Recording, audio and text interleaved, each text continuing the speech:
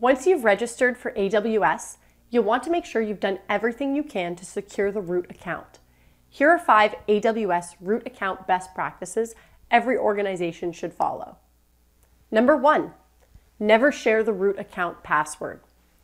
Only a select number of trusted individuals in your organization should know the root account password, and even fewer should have access to the root account email. Number two, delete all access keys. No program should be connecting with the AWS root account, so there's no reason for the root user to have any access keys. If they exist, delete them and never create any new ones. Number three, enable multi-factor authentication. If someone wants to sign in as root, they should not only provide something they know, but also something that they have. The password is what they know. The MFA token represents something that they have.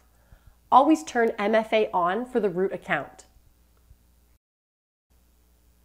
Number four, regularly rotate the AWS password.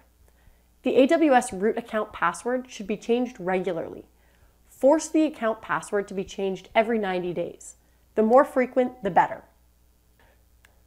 Number five, perform administrative tasks with administrative users. If you need to provide a user administrative access, create an administrative account. When a user is done with their administrative needs, you can simply revoke their rights or even delete the administrative account. Keep your AWS account secure. Follow these AWS root account best practices.